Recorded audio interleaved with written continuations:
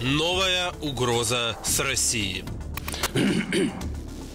Продолжим. Кремлевский режим готовится к новому этапу ракетного терроризма Украины. Все идет по плану. По данным Генштаба Вооруженных сил Украины, для этого россияне разрабатывают новый тип ракет. По имеющимся данным, в июне этого года Российская Федерация планирует начать серийное производство стратегических крылатых ракет воздушного базирования типа X-50. Х-50 с рабочим названием «Орион» должны пополнить запасы россиян уже к осени.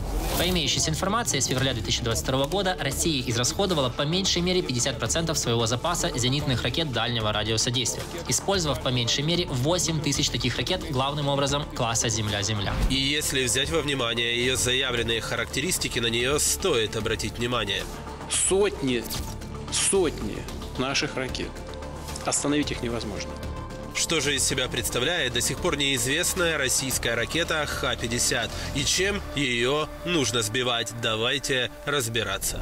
Работа над Х-50 началась пять лет назад. Еще в 2018 году была принята программа создания вооружений, новых типов вооружений. И для, собственно, в основном для Ту-22М, э, М3 создавалась новая ракета – Э, которую так и назвали Х-50. До сих пор ее считали очередной несбывшейся мечтой российского военно-промышленного комплекса. Но у нас есть чем ответить. Но оказывается, 2022 год научил Путина экономить деньги – стрелять трехмиллионными Х-101 и при том терять 4 из 5 ракет запущенных, но это довольно утомительно. Поэтому в авральном режиме было принято решение выпускать новый, более универсальный тип ракет. Это дозвуковая ракета, она скорость ее крейс, на, в крейсерском режиме так не свыше 700 км в час, максимальная 900 км в час. Х-50 это подобие известных ракет Х-101. Это фактически уменьшенная копия известной ракеты Х-101, которая которой нас обстреливают уже ну, с самого начала войны фактически. Но у нее есть, тем не менее, несколько преимуществ. Во-первых, она дешевле, но все равно опасная. Та же дозвуковая ракета, примерно на метр с небольшим короче, чем Х-101. Также выпадающий из хвостовой э, части после пуска двигатель. Вот, но она легче. Во-вторых, она может нести более разрушающий эффект, чем Х-101. Если Х-101 имела моноблочную головку, да, то есть единый агрегат, то э, вот эта ракета уже будет иметь два типа.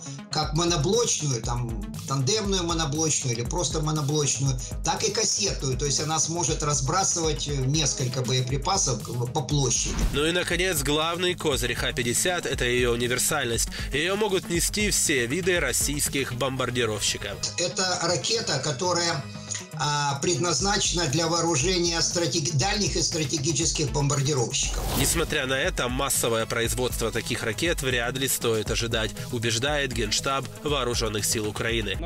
На нынешнем уровне производства Россия не сможет восстановить свой резерв в среднесрочной перспективе. Но настораживает тот факт, что производство Х-101 в то же время не прекращается. Вот эта ракета более дешевая, но параллельно будет выпускаться и Х-101, так что удвоить производство ну точно не получится. На сегодняшний день оно не впечатляет благодаря дефициту комплектующих. Сейчас ракет Х-101 э, выпускают, но россияне в состоянии выпустить там где-то, ну, не более 30 в месяц. Поэтому вполне вероятно, что производство Х-50 будет двигаться где-то в таком же темпе, а возможно, еще медленнее. Получится ли наладить в принципе серийное производство? Доведут ли эту ракету до а, нужных параметров? Сможет ли это не работать э, новая система управления? И все, что заявлено, в этом большие сомнения. Максимальная схожесть с Х-101, соответственно, говорит о том, что Украина имеет чем принимать новейшую разработку России, если она таки станет на конвейер. Все, без исключения, системы противовоздушной обороны, включая зенитные пулеметы подходят для уничтожения этих ракет. Спасибо натовскому ПВО. Я надеюсь, что мы получим достаточно насамсов и АРСТ для того, чтобы с этими ракетами расправляться так же беспощадно, как расправлялись Х-100. Генштаб ВСУ предупреждает, что Россия готовит массированные удары Х-50 уже на начало осени. То есть Украина и ее партнеры имеют более четырех месяцев на тщательную подготовку к новой волне ракетного террора России.